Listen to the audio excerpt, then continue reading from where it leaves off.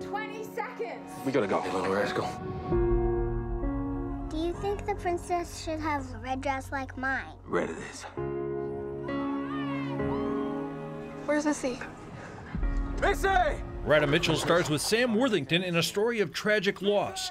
Based on a best selling novel, The Shack challenges a family's faith. It kind of reminded me of, of the movie It's a Wonderful Life, in that it was a simple fable, but it had a very profound message.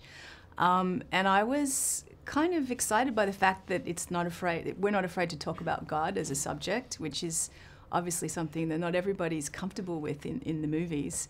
Um, and that it offered an alternative to just so many, uh, so many of the stories that to me just seem gratuitous and violent and titillating, but not necessarily dealing with any of the issues that we really need to discuss in terms of our own humanity.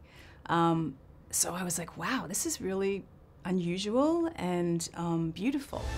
Mackenzie Allen Phillips. I've been looking forward to this. Do I know you?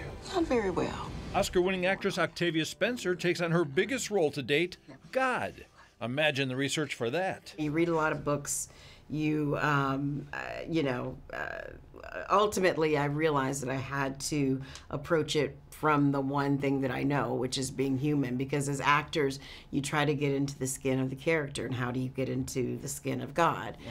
And um, when what finally you know broke through for me was realizing that the character that I was playing was the eternal father and we are all his children so that's how I approached it that I was Sam's mom